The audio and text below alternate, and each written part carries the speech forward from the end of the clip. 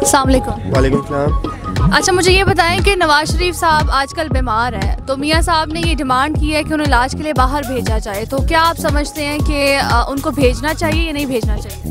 اگر وہ بیمار ہیں تو واقعی پھر ان کو بھیجنا چاہیے۔ نہیں کیوں بھیجنا چاہیے؟ ابھی تو وہ ابھی تو ان پہ کیس چل رہا ہے یہاں پاکستان میں۔ کیس تو چل رہا ہے لیکن بیمار بندہ ہو جاتا ہے بھی ہو سکتی ہیں اور بھی بیمار ہو سکتے ہیں عمران خان خود ہو سکتا ہے۔ تو پاکستان میں علاج نہیں ہو سکتا؟ ان کا ہو سکتا ہے کیوں نہیں ہو سکتا؟ تو آپ کیا سمجھتے ہیں کہ ان کو بھیجنا چاہیے؟ باہر تو نہیں بھیجنا چاہیے لیکن علاج تو کروانا چاہیے ان کا۔ ہاں بالکل علاج تو بالکل کروانا چاہیے لیکن وہ کہہ رہے ہیں کہ ان کو باہر بھیجا جائے۔ باہر تو نہیں بھیجا جائے۔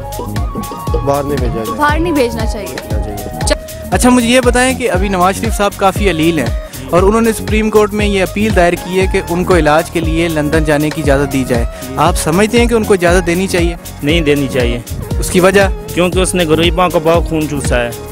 اس نے ہم جیسے مزدوروں کا بہت ہی خون چوسا ہے ٹھیک ہے نا؟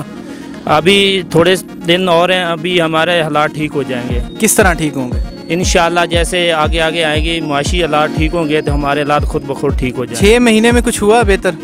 ہو جائے گا آہستہ آہستہ اگر جو جی نئی حکومت آتی ہے تو ایسے تو نہیں ٹھیک ہو جاتا آہستہ آہستہ بھی ٹھیک ہوتا ہے بھائی۔ نواز شریف صاحب کی صحت کے حوالے سے کوئی پیغام دینا چاہیں گے انسانیت کے طور پہ؟ نواز شریف کو تو اللہ تعالیٰ ہی بخش سکتا ہے ہم لوگ نہیں اس کو معاف کر سکتے کیونکہ اس نے حالات بھی ایسے کہا دیے پاکستان کے۔